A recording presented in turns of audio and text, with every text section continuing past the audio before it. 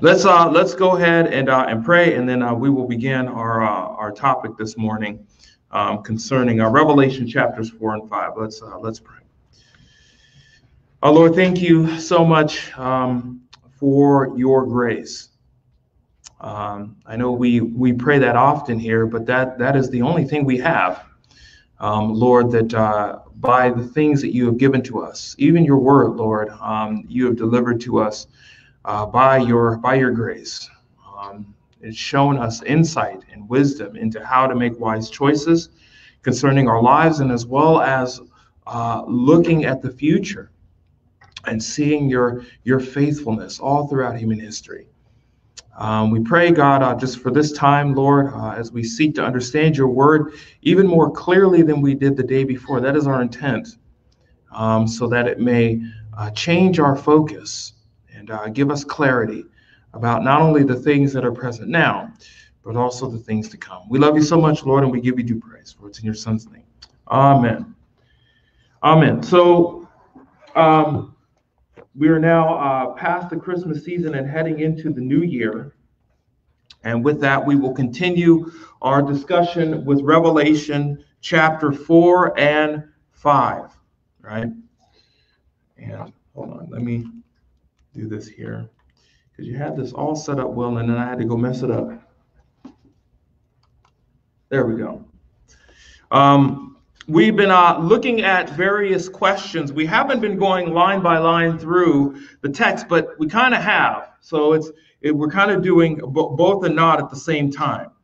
Um, um, and we're doing so by asking questions concerning the text, uh, things that some theologians have asked, some things that I'm curious about, uh, perhaps maybe you're curious about, and we're trying to understand uh, this this uh, scene here that's found within these two chapters of Revelation. We started off uh, by looking at is the rapture of the church between chapters three and four, right? And we concluded that that that's not the case, right? As we've been reviewing the uh, just the scriptures and the text themselves, uh, there is no rapture between chapters three and four. Uh, we also explain the significance of metatauta, that is, uh, after these things, or what occurs after these things. John uses this frequently in his discourse, and all it is is just a marker for us to just uh, when when we read it to show that he's transitioning from one seed to the next. That's all. Okay? And that's uh, significant too uh, in relation to our first question. Uh, who's the one speaking in John uh, to John in Revelation 4 1? We concluded based upon the text that this is none other than Christ himself. Right? It's based upon the details of the passage. Uh, why is this entire scene in chapters 4 and 5? This was, uh, again, why is this scene even in this text? What's the purpose of it? And we discovered that the reason behind this particular scene is that it parallels with all the Old Testament passages concerning judgment, right? And that God is being consistent uh, before he lays out how he is going to judge the world, just like in the past when he talks about either judging Israel for their idolatry and things like that. Um, um, he uh, gives a very, very awesome scene to show that this is indeed God speaking. Now, I find this to be fascinating, and we'll look at this later on, is that most of these scenes that are connected have everything to do with idolatry. And it's interesting that in the book of Revelation, we have the same language as we see in the Old Testament, which is kind of fascinating. Um, who is on the throne in chapters four and five? We talked about that. There are some who believe that uh, Jesus is on the throne. There are some who believe that uh, Jesus who is the Father, who is the uh, the Spirit is on the throne. Uh, lots of lots of interesting uh, uh, explanations there. But we concluded that the one who's on the throne is the Father Himself. That and the one who is passing uh, the scroll to the Lamb is the Father. Okay. Who are the 24 elders? The 24 elders. No, no, no deeper than that, right? We looked at the function of elders, the functionality of them. Uh, we looked at some of the scenes and the context around there, and we concluded that they're just 24 elders. They don't represent anybody or any group. Okay? I think the most important thing is what they're doing. Okay? So now we're going to, uh, what is the purpose of the scroll? We'll talk about that this morning. And uh, who are the myriads of myriads and thousands of thousands? Okay. Um, again, we uh, uh, again, who are the 24 elders? They're just 24 and nothing more than that. So let's go ahead and continue with our questions. And again, the purpose of the scroll. Now, I'm not. This is kind of going to be broken up into two parts okay? Uh, for the reasons being that the scroll has everything to do with chapter six as well. So we're not going to necessarily answer this question now, but what we are going to do is look at other people, specifically one specific individual who I find his answer to be quite fascinating. Uh, this morning, I want us to focus on the method of how we interpret and how we explain scripture. Method is very, very important. It is the important thing. Okay? There are some individuals that use their theology to explain text. That's backwards. We shouldn't be doing that. We should always have a method, and that method that we employ should be used consistently, systematically, ra- rationally, logically. And we're going to talk about that this morning and we're going to focus on one particular one, specifically one that's been um, kind of in vogue now for uh, a, a minute. And that is what's known as the Christocentric theological hermeneutic or Christocentric theology. What do I mean by that? Um, Christocentric theology is a system, it's a theological system or, or, even, or even a method, we can even say that, that attempts to observe Christ, in some cases, even his be- death, burial, and resurrection in every narrative of Scripture. Okay? That Christ is everywhere in the text. Okay? Um, this could be problematic because there are some texts that don't talk about Christ at all right? And yet, individuals who use this view tend to observe Christ in every every verse, every passage. Okay. We can kind of hearken it to uh, this. So everybody has a source of authority. We talk about this here a lot, often at Beth Haven. That there is a there is a authoritative source that we answer concerning questions about life life in general. This same source of authority, in some respects, we use to interpret the text. If we have a source of authority that assumes that Christ is in every text, we will open up our Bibles, we will read a passage, and we will try to find Christ in the text, even when it doesn't say it is or it's not about him. Does that make sense?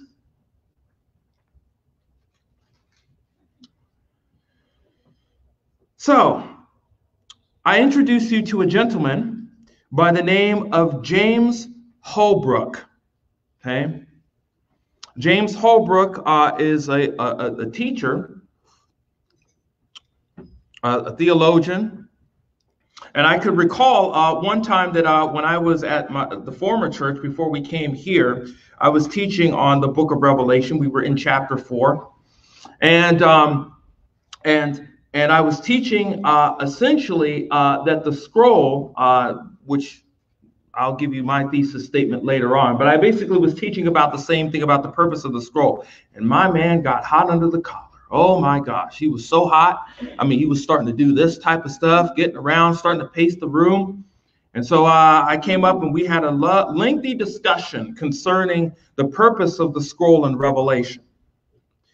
And so the next week he came back and he had a paper stapled and he put it on the lectern. And he said, I want you to read this right here. This is my this is my argument right here. Okay, now he didn't write it, um, but he's he agreed with with the person on the page. This person was James Holbrook. Right? So I read it and I said, you know what? This would be a good lesson to teach. So we're going to do that this morning. This is James Holbrook's thesis statement concerning the book of Revelation and the purpose of the scroll. This book, that is specifically this chapter, but Revelation as a whole, contains the terms for redemption for the earth. This is the whole, this is his whole thesis statement for the book of Revelation that the earth has to be redeemed. Okay? The main word that James Holbrook uses for his thesis is redemption. Uh, you could find it all over the place in his right in, in the, pa- the paper that was given to me. Okay? So let's take a look at some of the uh, some of the points that he makes concerning his uh, book itself, uh, the book of Revelation. Um, he connects three different books, cross references them okay, concerning this chapter, the redemption of the earth, and various places in the Old Testament. Okay. One, uh, one such place he looks at is the book of Ruth. Okay. He talks about the uh, the church as the as the bride of Christ, the wife of Christ. And he uses the book of Ruth as an example of this. As a matter of fact, uh, if you uh, turn to Ruth chapter 4, verses 7 and 8, he uses this text to explain uh, a particular point that he makes concerning uh, what Christ has done for the church. In Ruth chapter 4, verse 7, and 12. He details this. Uh, now, this was the custom in the former times of Israel concerning the kinsman redemption and the transfer of property. To confirm the matter, a man removed his sandal and gave it to his fellow countrymen. This was the manner of attesting in Israel. So the Redeemer said to Boaz, Acquire it for yourself. And so he removed his sandal. This was the means by which he was purchasing land. They would usually walk around the land and then hand a sandal over to him. That was kind of the deed that was done uh, during the time of Israel. And Boaz said to the elders and all the people, You are witnesses today that I have acquired all that was for Elimelech, and that and, and that was for Chilion and Mahlon in the hand of Naomi. Verse 10 and also Ruth the Moabite, the wife of Mahlon. I have acquired as a wife to raise up the name of the dead over his inheritance, so that the name of the dead may not be cut off from the relatives and from the gate of his birthplace. You are witnesses today. Verse 11 And all the people who were at the gate and the elders uh, said, We are witnesses. May Yahweh make the woman coming into your house as Rachel and Leah, again, a common prayer of Israel, who together built the house of Israel. May have strength in Ephrath and bestow a name in Bethlehem. And then last, verse 12. And may your house be like the house of Perez, whom Tamar bore to Judah, of the offspring that Yahweh will give to you from this young woman. Very, very good prayer. James Holbrook comments concerning uh, the book of Ruth in relation to Revelation. Remember, he is he is viewing this uh, from he he cracked open Revelation looked at this passage and now is using Ruth to interpret this passage. Okay? He says this James Holbrook writes The husband's brother was to take the widow as his wife and raise his children in his dead brother's name so that his family name and inheritance would not die out. This has everything to do with Jesus being, according to James Holbrook, as the kinsman redeemer right? Who's redeeming uh, Ruth and and and the land and all this stuff, right? So according to James Holbrook,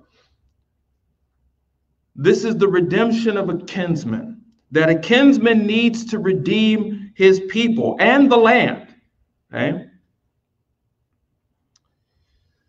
The second uh, verse that uh, he kind of focuses on is found in the book of Leviticus. and this is uh, concerning the slave. Okay? If you would turn to Leviticus chapter 25,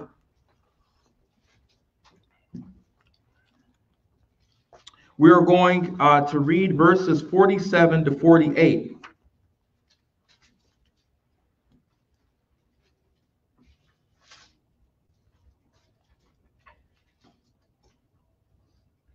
And then we'll be going into uh, uh, the book of Jeremiah here too. So, if an alien or a temporary resident, again concerning uh, the manner and customs of Israel, if you are, uh, and if the, if and if the alien or the temporary resident who are with you all prosper, but your countryman who is with him becomes poor, and he is sold to an alien, a temporary resident who's with you, or to a descendant of an alien's clan after he is sold, redemption shall be for him. One of his brothers may redeem him. Right? Hold on. Let's go back to, let's stay on Leviticus for just a second. Okay? So, so if an alien or a person who is living in the land temporarily, in the land of Israel, comes to you and they prosper, right? And he's sold as an alien, that or a temporary resident who's with you, that they can be bought back. Um, uh, or one of his brothers may basically purchase him back. This is to underscore again the purpose of the slave being brought back and not being a slave anymore. In the case of James Holbrook and him using this uh, this uh, uh, um, uh, using Leviticus as a grid to interpret Revelation 4, he's essentially saying that uh, those who were under the or under the devil were slaves to him, and Christ needed to redeem uh, that person from slavery. That's his. That's his. That's his argument. And he's using Leviticus 25, verses 47 and 48 to make this claim. In Jeremiah 32, chapter 32, we read this, this little duty. Verses 9 to 12.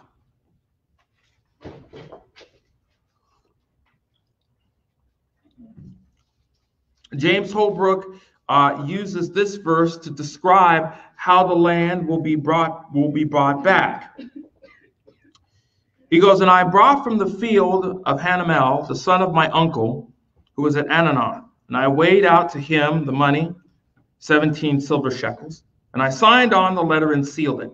And I called witnesses as witnesses, and I weighed out the money on a set of scales. Right? Then I took the deed of purchase. The sealed copy containing the commandments and the rules, together with the one that was open. So you had a, a couple of scrolls here. One of them was the deed, right? And uh, and and and within that deed was a sealed copy containing all the ordinances and the rules and things like that uh, concerning the land that's being purchased. And I gave the deed of purchase to Baruch, the son of Neriah, the son of Mahseiah, in the presence of Hanamel, the son of my uncle, and in the presence of the witnesses who signed the deed of purchase, in the presence of the Judeans who were sitting in the courtyard of the guard. So this is all official business, right? So let's look at the explanation according to uh, Mr. Holbrook here.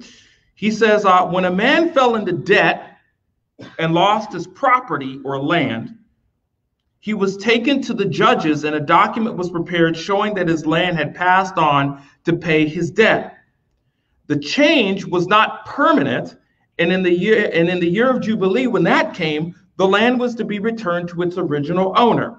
No problems there. One was left open in the temple to be read. The other was rolled up and sealed with seven seals and kept in a temple only to be brought to when a kinsman redeemer worthy and able was found. Do you see the connection? He's using the culture to describe what's going on with Revelation. The kinsman will go to the temple and show he was willing to pay. The sealed scroll was brought forth, the property was returned to its original owner, and the seals torn open, showing that the land was free of debt and returned to its original owner. So when uh, the father is giving the deed, the scroll, to his to the lamb, it's basically saying that Jesus has rights to claim this land. That's what he's doing. And he's doing it in the presence of the elders, he's doing it in the presence of the angels. This is all uh, signifying the importance of this event that the Father hand the Son the scroll, the deed of purchase, so that he can rule the earth. That's that's that's the whole goal of the scroll, according to James Holbrook. All right. In Jewish law, the scroll had to do with the redemption of the land only.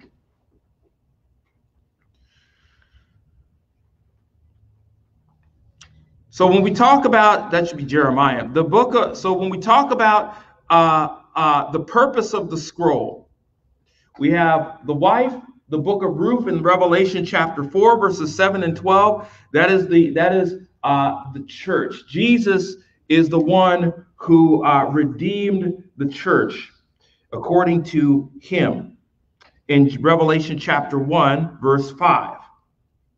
It says this John to the, I'll start at verse 4. John to the seven churches that are in Asia, grace to you and peace from him who is and who was and who is to come, and from the seven spirits who are before his throne, and from Jesus Christ, the faithful witness, the firstborn of the dead, the ruler of the kings of the earth, to him who loved us and released us from our sins by his blood. Right? That release, according to James Holbrook, is the redemption from a kin, of a kinsman. To the slave, okay, uh, he parallels First John chapter 3, verse 2. I will start at verse 1 says, See how great a love the Father has bestowed on us that we should be called children of God, and such we are. For this reason, the world does not know us because it did not know him. Beloved, now we are children of God, and it has not yet appeared what we will be. We know that when he appeared, we will be like him, for we, because we will see him, excuse me, just as he is. In other words, uh, we will be redeemed uh, by we are redeemed by Christ, and one day we will be completely free, right? That Christ has bought the slave and made him essentially a son. Okay. The last thing, according to James Holbrook, that needs to be redeemed is the land. Okay. And of course, uh, he references Jeremiah, which we just looked at. And the earth has not been redeemed yet. Okay? But it will be, according to James Holbrook. So Christ alone meets the requirements for a kinsman redeemer. Okay? According to James Holbrook. To Satan will not relinquish the earth. Remember, uh, according to James, he, he owns the earth, right? He owns the deed. He owns the title, right? um, so that the judgments show the process by which he is to, to release the world.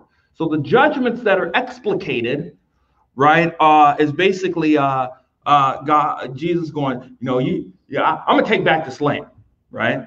I'm coming in. Uh, uh, it's it's it's the repo man, right? He's uh he's foreclosing on the house, so he's he's gonna he's gonna buy it, right? That's that's the idea. It means 24 elders, nor there's no specificity of the division of the elders. So he agrees with us there. Uh, Christ alone is worthy. He must be a relative, according to James Holbrook, Revelation 22, verse 16. He must be willing. That's John 10, uh, verses 17 and 18. Now, just as an aside, I'm not making a case for this. Okay. So I don't want you coming up to me or Dr. Smith, do you believe in it? I'm not making a case for this. Okay. I'm just showing you what James Holbrook believes, and we're using it as an example to show that method matters. That's that's all we're doing. Okay. So he must be a relative, he must be willing. John 10, verses 17 to 18. He must be able. Uh, First Peter uh, chapter 1, verses 18 to 23, uh, which is what Mr. Holbrook quotes. According to James Holbrook, the book of Revelation is a book of redemption. Christ buys back the earth, taking it from Satan, Satan who does not want to let it go. He's holding on. And Christ is going to take it and rip it out from his hands, right? Now, it would be it'd be, it'd be cool for us to note um, in a diagram what this looks like. How one would read this um, with the Christocentric view. Okay. So if you could see here, uh, this is the fall, right? Uh, this is Genesis 3 here. And then you have the old covenant, right? This is all, all the Old Testament, right? according to how uh, this goes. And then you have the cross. And then the new covenant. You notice something here? There's something missing here. Yeah, interesting. So some of the features that are found in the Christocentric theory is all messianic promises are fulfilled in Christ. They take uh, uh, that verse, um, um, um, in Christ things are not no or yes, in Christ all things are yes. They take that and they over they they over theologicalize it okay? To say oh well that means uh, if if all promises are yes in christ then that means even the promises that are reserved for israel are ours. Okay all god's activity centers in christ all of his activity all of his deeds even the things that are don't mention christ explicitly those things are centered in Christ.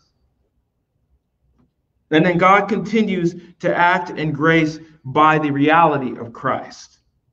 Okay, so all of these, all of these things here, notice you have old covenant, you have the cross, new covenant, and then uh, and then the second coming right after that, and then new heavens and new earth. Boom. Notice there's something missing here. Right? James Holbrook has adopted a Christocentric theological view. And this view, again, is, in, is coloring the way that he observes the text, the way that he observes Revelation. Well, let's take a look at, uh, uh, again, the redemption argument. Um, actually let's yeah let's take a look at some counter arguments. I, now now it's time to kind of pick this thing apart here. So in ruth chapter 4 verse 7 and 8 there is a deal that is mentioned okay? However if you notice the details of the passage a scroll is not mentioned but a sandal is mentioned let's take a look at ruth chapter 4 verses 7 and 8 again and uh, and kind of walk through this here now, this was the custom in former times of Israel concerning the kinsman redeemer and transfer of property. To confirm a matter, a man removed his sandal and gave it to his fellow countrymen. Uh, um, the author of Ruth is just detailing this is the custom that was done to just transfer land. They would walk around and then hand a sandal to somebody. Hey, it's yours. Okay? No scroll is mentioned in this text. Now, the last time I checked, a sandal and a scroll were two different things. Unless, of course, maybe I need new glasses or something. I don't know. But but but the sandal is not a scroll. So this can't be this can't be interpreted as that. What about Leviticus 25 uh, verses 25 to 47? Well, again, a, a scroll is not mentioned at all in that text either. Let's take a look at Leviticus 25, 47 to 50 once again and kind of read through it here. And if the alien or the temporary resident who are with you prosper, but your countryman who is with you becomes poor and he's sold to an alien, a temporary resident who is with you or to a descendant of an alien's clan, after he is sold, redemption shall be for him. One of his brothers may redeem him, or his uncle or his uncle's son may redeem him, or one of his close relatives from his clan may redeem him, or if he prospers, he may redeem himself. Again, there's there's uh, actually let's keep reading just for a second. Um, and he shall calculate with his buyer the number of years of his selling himself until the jubilee.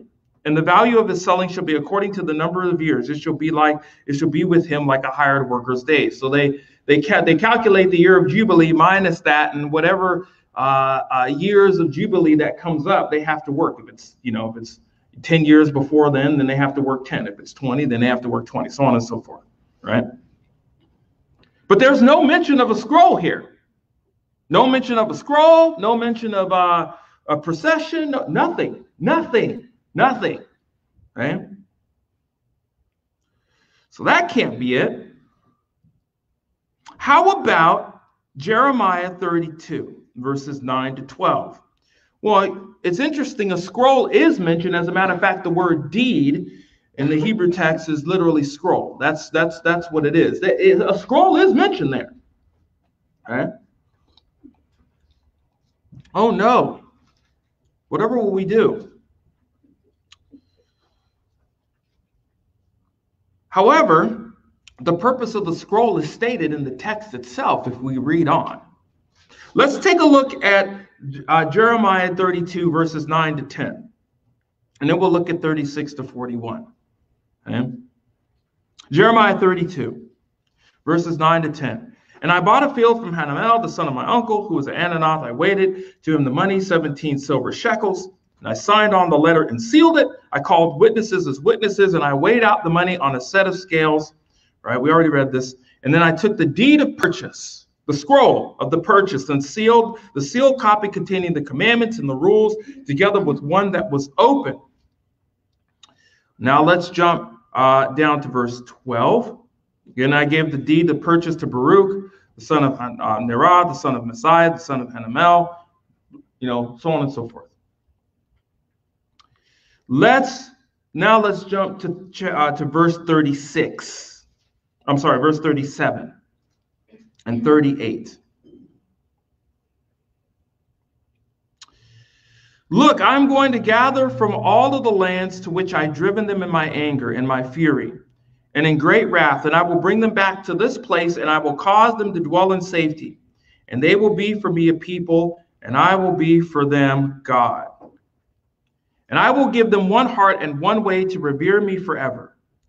For the good to and for good to them and to their children after them. And I will make with them an everlasting covenant, and I will not turn I will not turn away from them. My doing good to them and my reverence I will put in their hearts, so they will not turn aside from me.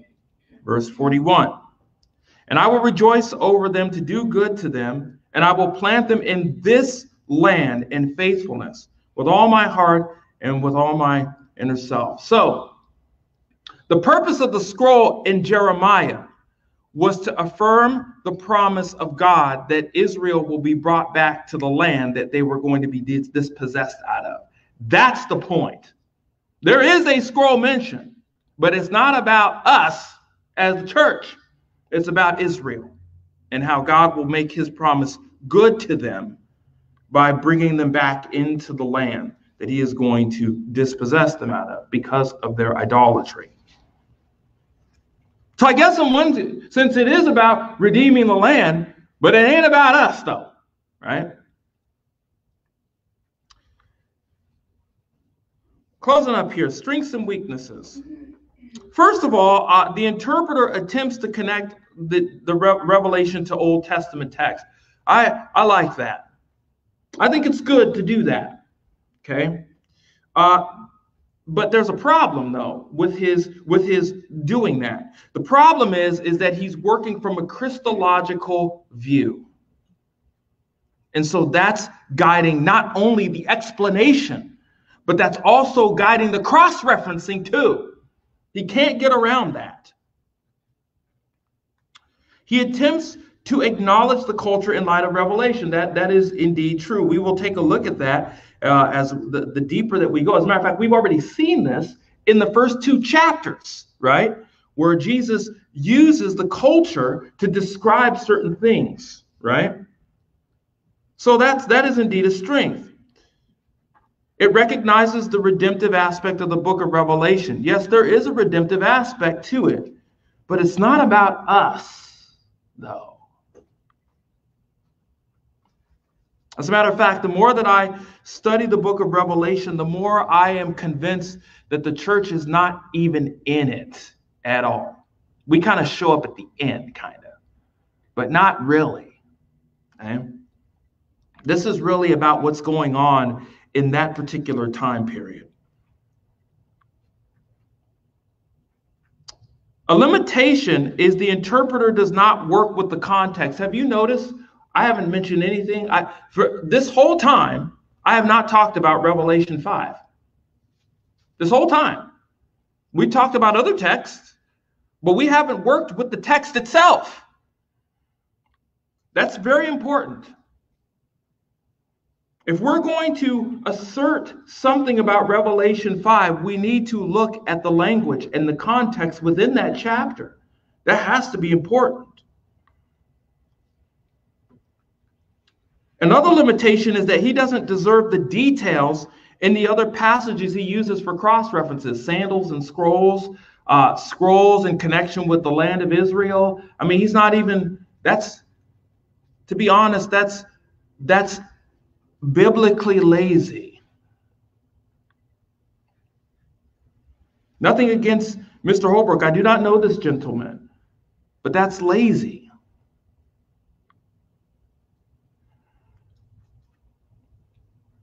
Let's look at some conclusions here.